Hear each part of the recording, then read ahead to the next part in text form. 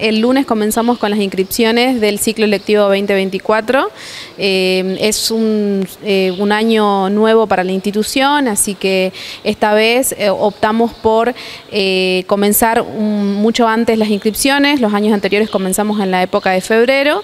Todo esto con la necesidad de que los estudiantes puedan traer todos los papeles necesarios para poder cumplir con la inscripción. Sabemos que la documentación más difícil de tramitar, si se quiere, es este, el título autenticado, sea de primario o secundario. Vamos a tener la oferta formativa del año pasado, la misma oferta formativa, justamente por lo que queremos reforzar es la calidad eh, educativa, reforzar también que eh, los oficios también tengan entornos formativos de mayor calidad, por eso es que se están haciendo algunas modificaciones en algunas aulas, en, el aula, por ejemplo, de la cocina, donde funciona panadería y pastelería, como también el aula de peluquería, se va a hacer una extensión del aula, eso nos va a llevar a que podamos este, recibir eh, a mayores estudiantes, más cantidad de estudiantes. Eh, vamos a hacer también la apertura del aula de proyección, que es un aula virtual que está equipada con proyector, con notebooks y con todo lo que necesitan los estudiantes para poder allí, eh, todas las ofertas formativas, tener clases de teoría junto con,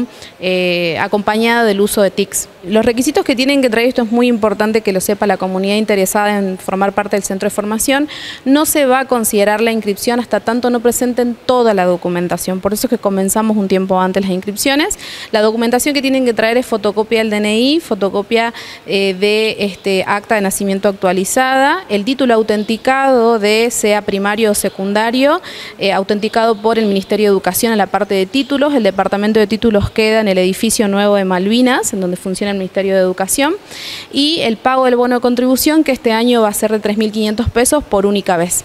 Los horarios en los que pueden venir a inscribirse, en el mes de enero vamos a estar inscribiendo solo en el horario de la mañana, de 8 a 12 del mediodía, y en febrero es muy probable que a mediados de febrero este, ya estaríamos habilitando el turno tarde para que puedan venir a la mañana o a la tarde. Sin perjuicio de ello, se va a inscribir tanto eh, para quienes quieran venir a la mañana a cursar o a la tarde en el turno mañana.